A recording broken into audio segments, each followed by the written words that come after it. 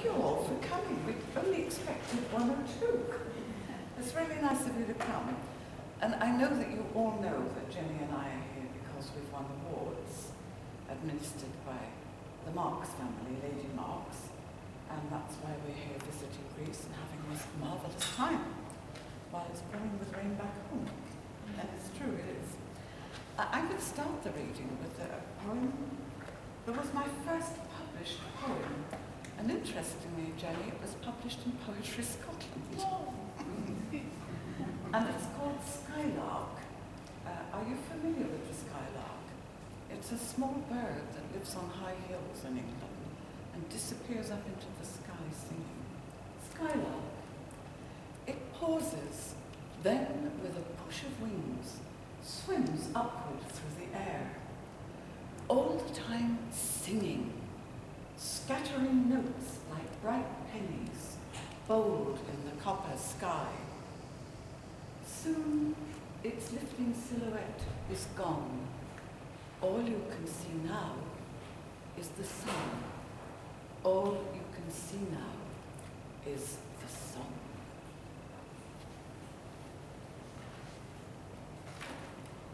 And this is the book which won me the Michael Marks Award. Um, it's actually about rape and its aftermath, so it's quite a, a cruel book in a way, but it does uh, proceed to healing.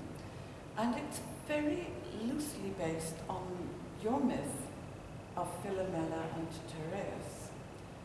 And I'm going to read you a poem where my protagonist seeks out a backstreet abortion. In the myth, Philomela and Procne served up Procne's son to Tereus as a form of revenge. Uh, in this, my protagonist is sacrificing her own child, which is a result of the rape. They lead me to a table where later they will sit and eat. The women weave about with bowls and cloths. They fold my trembling legs and lift them up. One pulls on rubber gloves. She takes a pump, its ball bright orange in that room of hush and shadow. They close around me, hissing through my parted knees in their strange tongue, each one familiar with this art. Pain. The room goes dark. Out of the darkness, someone whispers, Come. They make me totter to the street. I find my way alone, clutching at walls. Now, because in the original myth, all three were turned into birds, I have punctuated these poems with poems about birds that reflect something of what was going on before. And this is a very short poem about the cuckoo.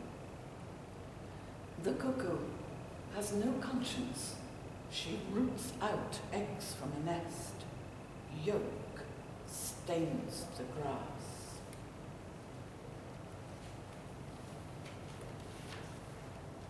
And now I'm going to read you a poem that I actually wrote in Nafplion.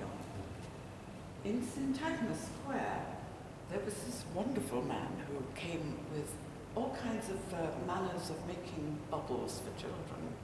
And children gathered round him and he let loose the bubbles. And it was such a beautiful sight that I imagined him as a space station because he's so enormous.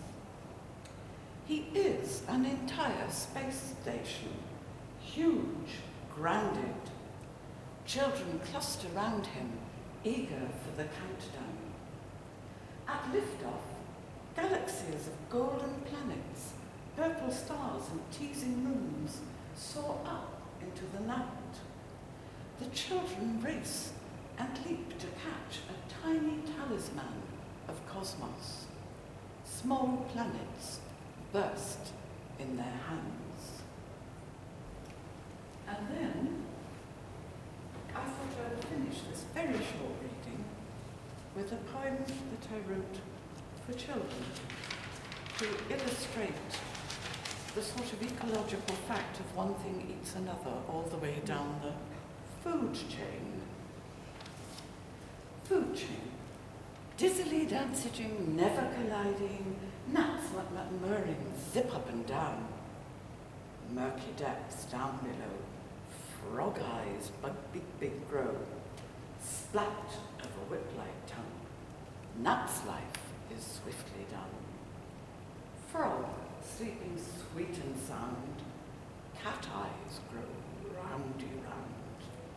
Flick of a with claw, frog is no more. Fat cat, all smuggy grin, frog dangling from its chin, leaps for the fence, too thin. Dog, sleeping down below, hears the fence wobbling, opens eye carefully, lifts up an easy paw, clamps down on cat. Fat cat and nat nat, nat nat and frog frog, all end in dog, in dog dog. And that's that.